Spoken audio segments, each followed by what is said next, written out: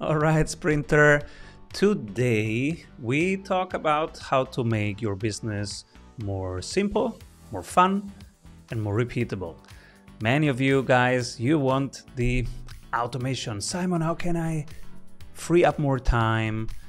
I don't have enough time. I want more time. And ideally, I want an automated business that works while I sleep and is generating passive income. And I want just to do the fun stuff, the 15% that I really enjoy, they are in my zone of genius. Can I automate the rest, outsource the rest?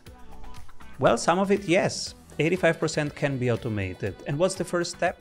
It is mapping. So before you automate, you have to map.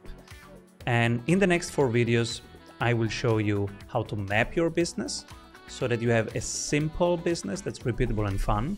The next video will be how you can use AI to help you uh, write the SOPs, so to document those. Then I will show you some activation levels, how you can create a referral engine out of the same um, mapped business that we call the value ladder, how you create value in each step. And the last bit will be how you can create a fully uh, overview, all the magic in one place. We call it the playbook. So let's start with the value ladder. This is where we start mapping your business, and it's pretty straightforward. The first question uh, to answer here is who is it for and was it what is it for? So your sprint coach uh, will give you feedback on this, but here you will write who is your ideal client. Let's say your ideal client is the CEO of a small business in New York and they have three dogs. I'm just writing something here, right?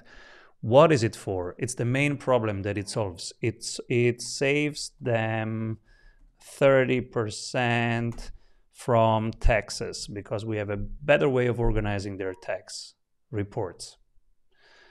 Um, then we start with awareness and engagement, then sales, operations, and retainment. So, what's your way of creating awareness? I go to LinkedIn and I create polls, then I follow up on those polls. All right. What's the status? Here it's asking you the status of it. So, is it manual, documented, or automated? Manual means every time you reinvent the wheel, um, and you would you would pick this emoji. So yeah, uh, actually every time I do LinkedIn, it's always the same.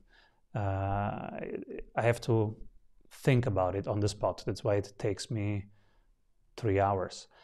Or you say, no, no, I have a full checklist for that. I have an edit- editorial calendar. So it's documented. Then you say, all right, it's documented. You give it the documented sign. Or you say, oh, no, that's fully automated, Simon. I have uh, five people in Pakistan doing that and two on the Philippines, and I do nothing. So it's fully automated. And you continue doing the same thing for engagement. Uh, how do you engage them from there? So maybe it's a quiz. Hey, do this quiz, and in 12 minutes, you will know more about what you can do. The same thing for sales. How is your sales flow? Most people have a first session, a second session, and they close in the second session. In our method, you will learn about the discovery session, first session, and the demo session where you close. Then, how do you send the offer, the proposal, the statement of work? How do they pay? How can you make it easy for them to pay? Can you document it? Can you automate it? Then, operations. What's your main offer, your main program? How does the client onboarding look like? How can you make it a wow? And then the activation levels that I will explain in the next video. And activation levels are important because they are the foundation for referrals. Activation levels are energetic uh, peak moments in the experience with you. And if you ask for a referral at that moment, the probability is much higher. That's why when you have the activation levels, at that unlock, you will celebrate the unlock. You will say, Congrats, you have just unlocked your level two. You have saved 30% taxes. Congrats. By the way, do you know three people who need this? And now they will want to give you three names and introduce you. So, operations, also how happy are they, net promoter score, um, or other ways of asking them for what you can improve, what's great right now, and what else they need. And then retainment. How can you create more work out of this work, either by expanding your same service or product or program, or by having cross sells, upsells, um, or, or retainers. So, as ways of retaining them, keeping keeping delivering value for them and with them. So that's the value ladder. Uh, in the next videos, I'm gonna show you uh, the the details of the activation points and how you can do that. For now, just do uh, a quick value ladder and get work critique from your coach on this because that's step number one.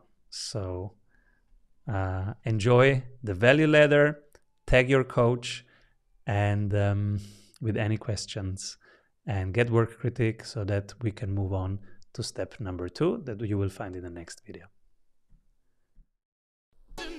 What if your business would run well even when you are on vacation? Discover how 1,600 business owners have regained their freedom using the Strategy Sprints blueprints. How they enjoy living their dream and watching their business scale get the exact checklists they use to go from stressed to fulfilled using the Strategy Sprints method. Order your copy of Strategy Sprints 12 Ways to Accelerate Growth for an Agile Business on Amazon today. And if you love it, leave us a review. For more information, head over to strategysprints.com.